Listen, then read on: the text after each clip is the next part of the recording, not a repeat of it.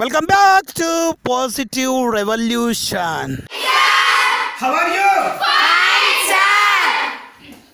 friends మనలాంటి ఒక మిత్రుడు కొత్తగా ఆలోచించడం మొదలుపెట్టాడు.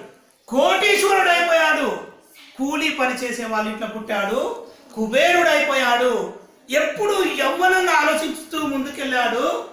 చివరికి గొప్ప ఎంటర్ప్రెన్యూర్గా ఎదిగి ఎంతో మందికి ఆదర్శప్రాయుడయ్యాడు. అతనే మన కేరళ ప్రాంతంలోని వేయనాడు డిస్టిక్ చెన్నలోడి అనే ఒక అతి చిన్న గ్రామంలో పుట్టినటువంటి ఒక నిరుపేద విద్యార్థి. చదువుకునేటప్పుడు వాళ్ళ అమ్మ నాన్న ప్రతిరోజు కూలి పని చేసేవారు.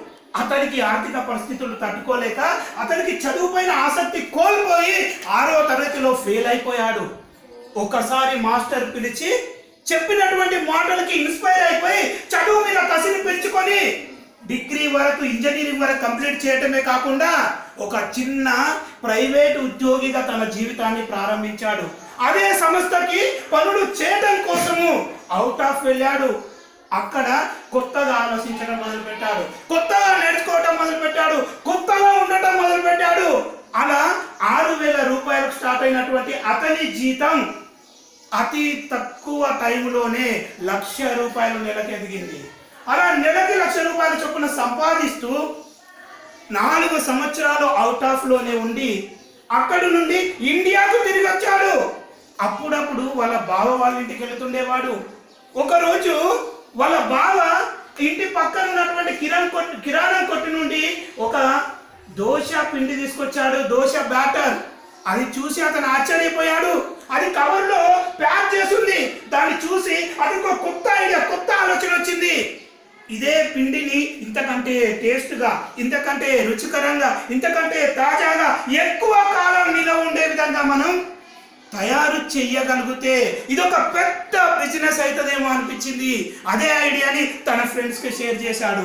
నలుగురు మిత్రులు కలిసి ఒక చిన్న షెడ్డులో రెండు మిక్సర్లతోని ఒక గ్రైండర్ ఒక సర్వీస్ మిషన్తోని స్టార్ట్ చేయబడ్డదే.